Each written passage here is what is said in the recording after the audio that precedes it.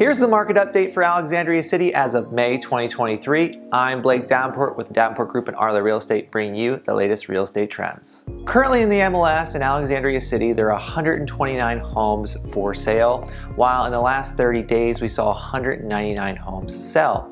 That leaves us with a monthly supply of 0.6 months, which is the same as last month.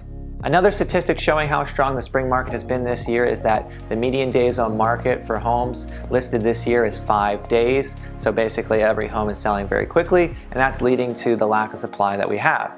Uh, we are kind of reaching the peak spring market so I do suspect the supply to go up which is going to create more opportunities for buyers and you know not as many homes will sell as quickly, uh, making the marketing for sellers more important the presentation more important. So don't expect if you're a seller your home to sell immediately if you don't do the right things. For the homes that closed this year from January till April, we saw a median sales price of 600,000, while the homes that closed from September to December last fall, there was a median sales price of 584,500. This is an increase of 2.7%. We typically see this jump every spring, uh, so it's again another strong indicator that the real estate in the DC area and Alexandria City is continuing to move up. If you're a buyer and expecting prices to go down, you're gonna be waiting for a long time. Things will get easier uh, as we head into the summer months, it always does. There will be uh, more contingencies, less offers, making it easier to get under contract.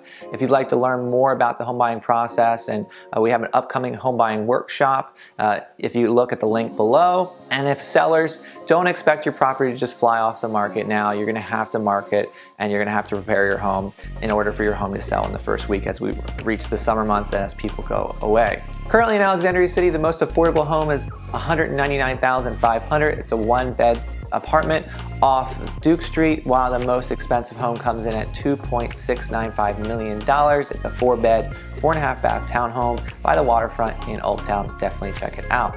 If you'd like to learn anything more about the market or you have questions about buying or selling, you can email me at blake at the davenportgroup.com or click the link to access our website and you can contact us there. But thanks again for checking out this month's market update. See you next month. Bye bye.